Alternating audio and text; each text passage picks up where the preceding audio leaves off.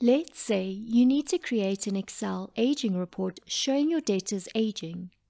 And you want to do this dynamically, so whenever your debtors' receipts and invoices are updated, you want your age analysis to refresh automatically with just the click of a button. This is really easy to perform with Power Query. Let me show you how. Here we have our debtors list showing the customer name, product, invoice number, invoice date, and invoice amount.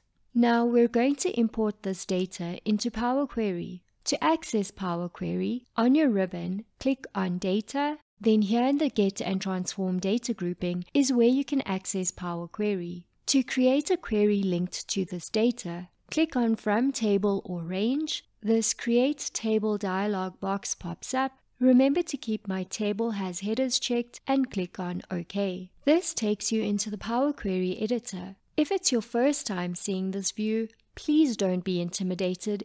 It's super easy to use.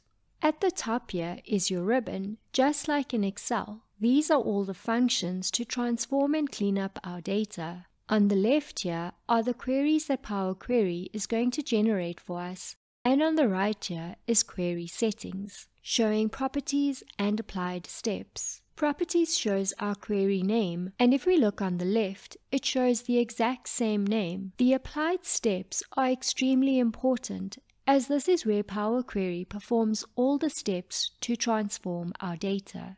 This is really useful, especially if we need to refer back to the steps that we performed and for Power Query to automate the steps for any future data that is added to the debtors list.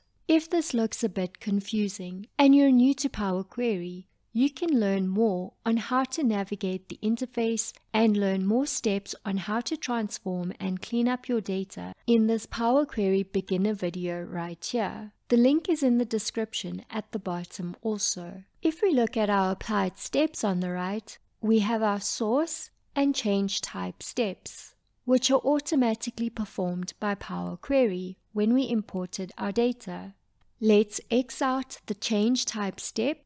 If you would like to understand more on why I removed the automatic change type step, please check out this video here, Power Query Error Handling.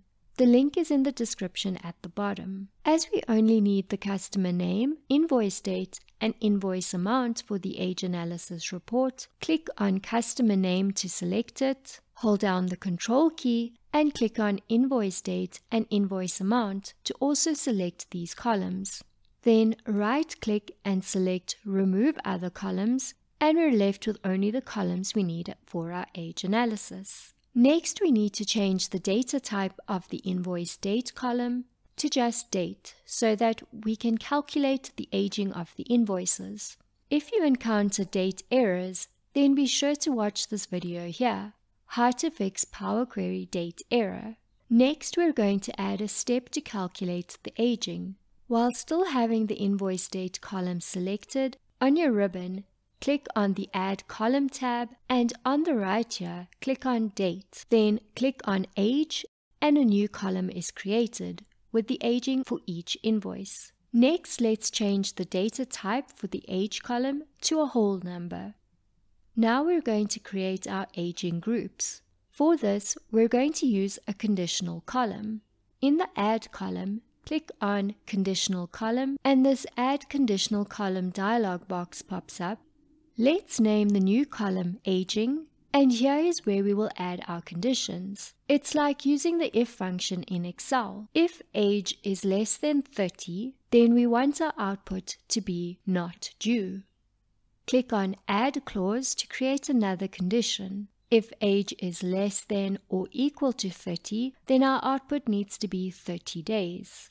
Click on Add clause if age is less than or equal to 60, then our output needs to be 60 days. Add clause. If age is less than or equal to 90, then our output needs to be 90 days. Add clause. And lastly, if age is greater than 90, then we want our output to be 90 plus. Click on OK and we have our aging column. We only need our customer name, invoice amount, and aging. right click and select Remove Other Columns. Next, we want to use the Pivot Column step to get the data in the right format. Click on the Aging column to select it, as this is the column we want to create new columns from. On the ribbon, click on Transform and click on Pivot Column. This Pivot Column dialog box pops up. In the Values column, click on the drop-down and select Invoice Amount and click on OK. So now we have our customer name on the left and our aging days in separate columns.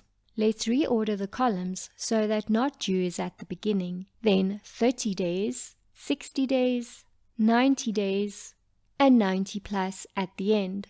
Let's change our data type. Use Ctrl A to select all our data. Then in the Transform tab, click on Detect Data Type and Power Query correctly returns the data type for each column. Next, we want to replace the null values with zero.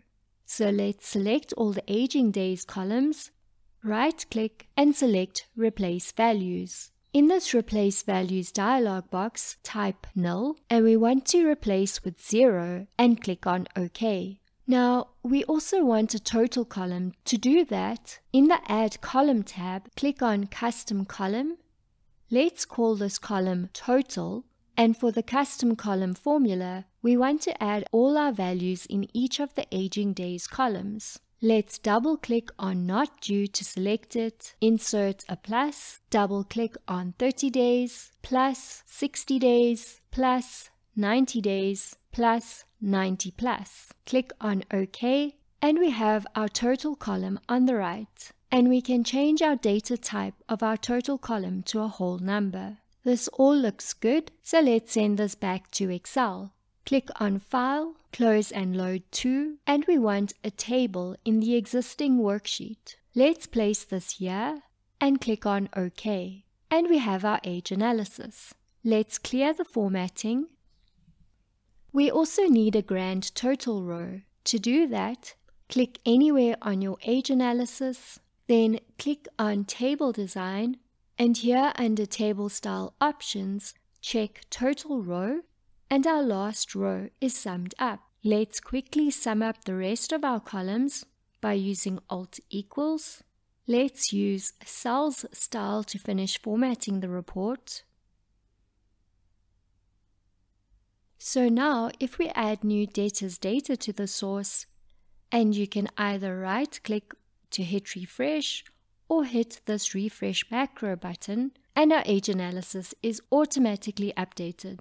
If you found this video helpful, I would really appreciate it if you could buy me a coffee. The link to this is in the description below. For those who don't know, I work a full-time job and make these videos on weekends and before and after hours. The caffeine boost will definitely help me through those late nights and early hours. Thank you so much for your support.